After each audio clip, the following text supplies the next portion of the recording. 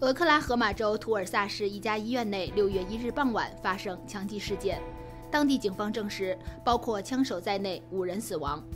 据当地媒体报道，枪手为男性，持步枪和手枪进入医院内一栋医用办公楼二楼开枪，杀害四人后自杀。枪击案发生后，警方疏散了楼内人员，随后排查各楼层房间。一名警官称，有多人受伤，楼内情形是灾难性的一幕。有媒体报道，枪手目标是楼内一家专科诊所的医生，但警方尚未透露枪手身份信息与动机，其他死者身份也尚待确认。六月一日，美国总统拜登和美国卫生与公众服务部公共卫生局负责人以及几家大型奶粉制造商的负责人举行圆桌会议。宣布，美国政府将通过进口外国奶粉，并利用国防生产法加速国内生产，来应对美国的婴儿配方奶粉短缺问题。根据白宫发布的声明，拜登政府将在美国卫生与公众服务部的协助下，采购约三十八万磅澳大利亚配方奶粉制造商 Bubs Australia 的奶粉。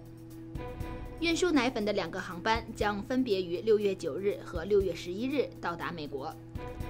此外，还有英国康多米尔等同于三百七十万瓶的配方奶粉，也将于下周开始从英国运抵美国。六月二日，美国众议院司法委员会就控枪议案举行听证会，作为对近期美国多起大规模枪击事件的回应。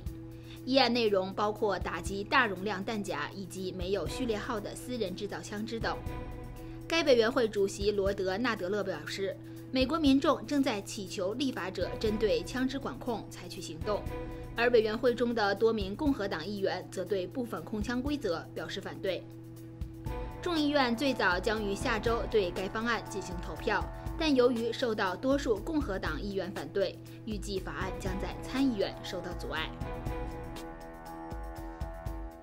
美国男星强尼戴普与前妻安伯赫德互控诽谤，这场世纪官司于六月一日宣判，结果裁定强尼戴普获胜，成功摘去家暴男污名。强尼戴普与前妻安伯两人于二零一五年互结连理，但二零一六年感情生变，安伯提出离婚，并控诉强尼有家暴犯行，导致强尼影视业重创，最后发展成两人互控诽谤局面。六年后，强尼戴普终获胜诉，法官裁定安博需支付强尼一千五百万美元，但强尼也需支付对方两百万美元赔偿性补偿。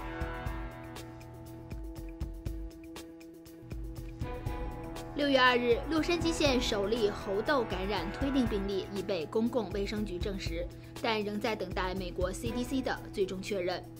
洛杉矶公共卫生局表示，该患者被确认为一名成年居民，最近曾旅行，并与另一起涉及猴痘的病例有密切接触。患者出现了症状，但情况良好，没有住院治疗，正与其他人隔离。截至六月二日十五时，中国四川芦山六点一级地震共造成一点三万人受灾，四人死亡，四十一人受伤。六月二日下午，应急管理部召开视频调度会，了解抗震救灾工作进展。中国财政部应急管理部向四川省紧急预拨中央自然灾害救灾资金三千万元，支持地方开展抗震救灾工作。截至目前，四川省消防总队、省森林消防总队、安全生产专业队伍、解放军和武警部队、医疗救援、通信电力、社会救援力量等应急救援队伍共三千两百一十六人，携行四千三百余台车辆装备，会同雅安当地四千六百余名各类救援力量，正在紧张有序开展应急救援工作。